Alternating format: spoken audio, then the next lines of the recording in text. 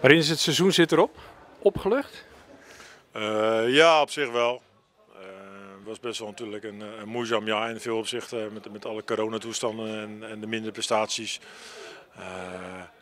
dus dan ben je blij dat het afgelopen is. Aan de andere kant is het ook teleurstellend daar waar je geëindigd bent vallen ook genoeg positieve dingen te zeggen over dit seizoen. Hoor. Het was heel leerzaam, moet ik vooral zeggen. Ja, dan heb je vandaag twee spelers die je uh, ja, publiekswissel gunt uh, in een leeg stadion. Dat, dat, dat, is ook heel vreemd voor dit soort jongens om zo te eindigen. Klopt, ja. Gelukkig zat er nog wel wat, wat, wat, wat emotie in de wedstrijd, waardoor het nog, uh, ja, de intensiteit redelijk hoog lag. Dus dat is wel mooi. En toch een beetje mensen op de, op de tribune. Nou, we hebben in ieder geval een waardig afscheid kunnen nemen van, van Luigi en Sander. Verdienen ze qua carrière qua persoonlijkheid.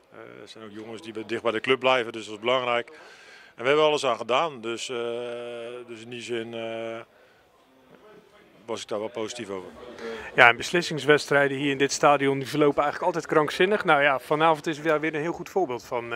Ja, klopt. Eerst zelf was het redelijk moeilijk, vond ik, om, om staande te blijven. De tweede helft kwam er steeds beter in. En dan had ik echt gevoel van, nou, die kan ook wel eens onze kant opvallen. kwam beter aan de bal, wat een beter druk. Ja, dan past het helaas wel het seizoen dat hij dan toch weer bij onze, onze kant valt, vijf minuten voor tijd. Dus uh, ook daarna nog alles aan gedaan. Dus uh, in die zin tevreden, niet over het resultaat natuurlijk, maar wel wat ze geleverd hebben vandaag nog. Ja, dan wint de tegenstander en die moeten vervolgens een uur buiten naar een scherm kijken. En, uh... Ja, heel raar, heel spannend natuurlijk voor die gasten. ja, dat, dat, ligt zo dicht bij elkaar. Je ziet hoe moeilijk, hoe moeilijk Graafschap het heeft.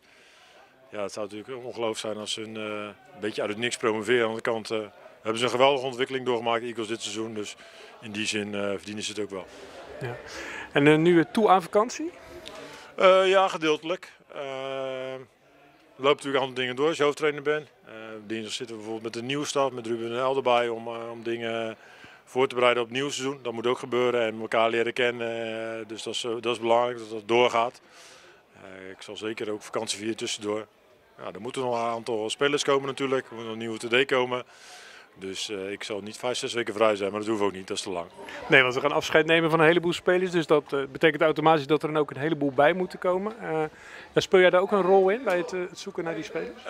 ja, nou, dit, dit, ligt even stil. Hè. In een oude situatie had ik behoorlijk veel invloed. Eigenlijk de spelers die nu gekomen zijn, kwamen in eerste instantie van mij. En ook, ook de assistent trainer.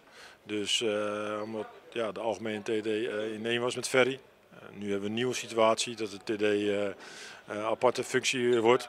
Dus die invloed zal iets minder zijn, dat is logisch. Eh, ik vind het ook een goede zaak dat algemeen en TD uit elkaar worden getrokken. Eh, dus wat dat betreft eh, ben ik benieuwd wie het gaat worden en hopelijk vooral een goed netwerk. Want ik heb ook niet zicht op, op alle spelers die beschikbaar zijn. Dus dat hoop ik dat hij daar goed inzage in heeft. Want ja, zoals nu is, hebben we ongeveer 11, 12 man in het nieuwe seizoen.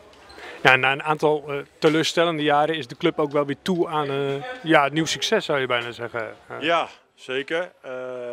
Eens. Er is natuurlijk wel heel veel verandering keer. Ik denk, denk ja, iets meer dan we gehoopt hadden. Maar aan de kant uh, ja, ook wel uh, noodzakelijk. We hebben het vaker over gehad dat dingen moeten veranderen. Het voetbal is enorm veranderd. de, de begeleiding, er wordt zoveel gevraagd tegenwoordig. Dus ik denk het goed is een aantal dingen veranderen.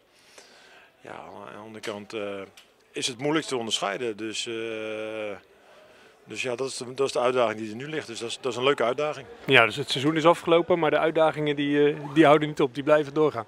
Ja, de uitdagingen blijven doorgaan. We hebben natuurlijk een aantal jongens wel gezien die ja, doorbraken. Dus dat is mooi uh, dat we daarmee door, door kunnen pakken. Uh, andere jongens gericht gehaald. Nou ja, het, het is even afwachten of, in hoeverre we straks nog kunnen versterken. Maar ik heb er wel geloof in dat een nieuwe, nieuwe winter gaat waaien en dat dat een positief effect zal hebben op, op lange termijn.